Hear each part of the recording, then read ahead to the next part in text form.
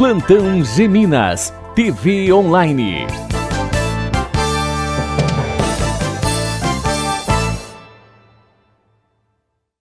Na tarde desta sexta-feira, por volta de 17 horas, ocorreu um latrocínio na estrada vicinal que liga Arceburgo a Milagre. O taxista José Dias, de 53 anos, teria pego dois passageiros em Arceburgo com destino incerto. O seu corpo foi localizado nessa estrada vicinal.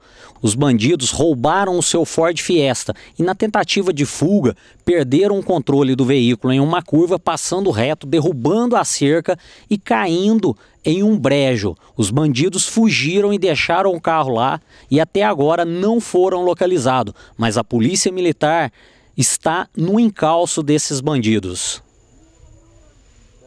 Plantão Geminas, TV Online.